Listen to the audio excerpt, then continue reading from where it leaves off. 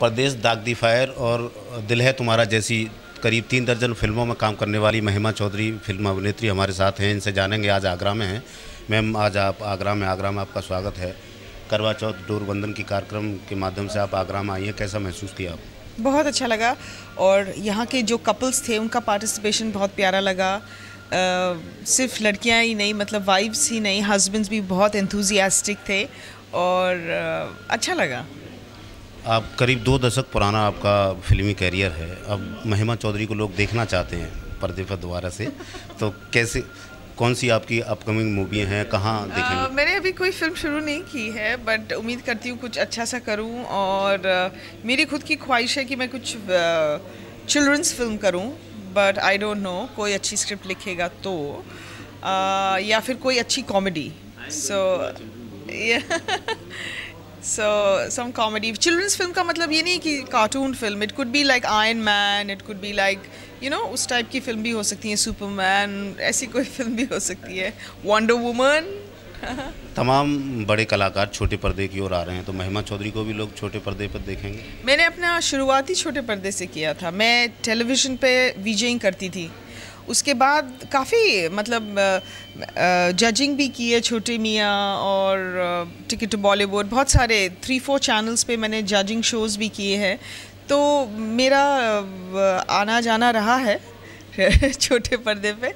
तो मुझे ऐसा कुछ नहीं है बट डेली सोप्स के लिए जो इन्वॉल्वमेंट चाहिए, आपको, जो कमिटमेंट चाहिए कम से कम 20-25 दिन महीने में आ, मतलब nine to five nine to five nine to five और आप कहीं जा नहीं सकते।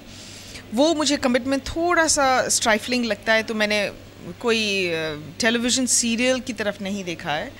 एंड वो अभी डिफ़िकल्ट है वो उस टाइप ऑफ़ कमिटमेंट आपने तकरीबन सैंतीस से चालीस फ़िल्में की हैं। कौन सी हम्म। ऐसी फ़िल्म थी जिसमें आपको संतुष्टि मिली कि हाँ मैंने सही एक अच्छा किरदार निभाया है?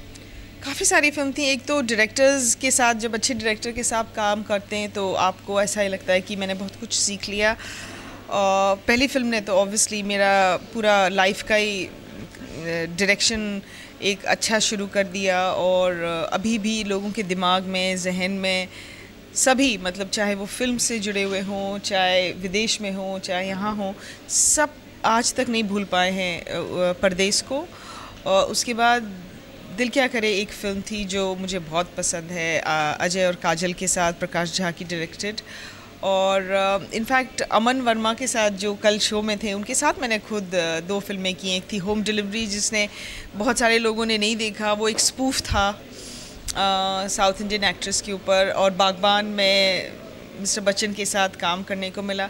तो सबकी अलग अलग रीजंस थे कि मुझे क्यों पसंद है। राजकुमार संतोषी के साथ जो लज्जा फ़िल्म करी, उसके बाद जो डाउरी के ऊपर वो मेरा एपिसोड था, उसके बाद कई लड़कियों ने हिम्मत करके जब उनसे डाउरी की डिमांड की गई शादी के दिन पे ऑलमोस्ट ब्लैकमेलिंग तौर पे करते हैं जैसे लोग तो उन्होंने अपनी बारात वापस भेज दी। तो वहाँ पे मुझे एक अलग किस्म का एक प्राइड फील हुआ कि मैंने बाकी लड़कियों को हिम्मत दी to fight against dowry comedy मैंने गोविंदा जी के साथ की तो वहाँ एक अलग कॉन्फिडेंस आ गया कि ओ I am I can do comedy अगर मैं उनके साथ कर सकती हूँ तो कर सकती हूँ.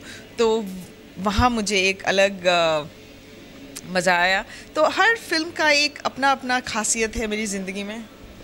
जो हिंदी सिनेमा है उसमें तमाम बदलाव आए हैं पिछले दो दशक में। ऐसा कौन सा बदलाव जो आप मानती हैं को जो दो दशक पहले बीस साल पहले था वो नया देखने को मिल रहा है?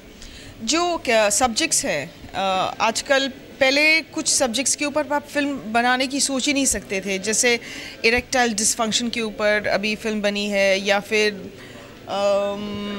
टॉयलेट के ऊपर फ़िल्म बनी है। यू you नो know, ये सब आप अगर उस टाइम पे सोचते तो वहीं पे ख़त्म हो जाता है वो सोच कि नहीं नहीं नहीं ये सब फ़िल्में नहीं चलती इंडिया में। बट आजकल लोग देख रहे हैं और फ़िल्म को अप्रिशिएट कर रहे हैं। तो डिफरेंट कैरेक्टर्स डिफरेंट फिल्म्स तो ये ये खास बात है आज। जो नवोदित कलाकार आ रहे हैं फ़िल्म इंडस्ट्री की ओर भाग रहे हैं उनको क्या सलाह देना चाहेंगे सक्सेस के लिए? वो मुझे सलाह दे सकते हैं। आजकल के जो लोग आ रहे हैं ना वो हम लोगों से ज़्यादा जानते हैं। बट उनको यही है कि सक्सेस मिलना, ना मिलना इज़ ऑल भगवान की वो होती है डेस्टिनी होती है। लेकिन एक अपने आप को हम्बल रखना is is really very very graceful thing to do and one should always be grounded तो महिमा चौधरी के जो समर्थक हैं, जो उनको, जो दर्शक हैं, वो उनको आने वाली फ़िल्मों में देख सकते हैं। आने वाली उनकी कई फ़िल्में होंगी, वो छोटे पर्दे पर भी नज़र आएँगी। आगरा से अपने साथी इकबाल के साथ विजय वघेल सी न्यूज़ आगरा।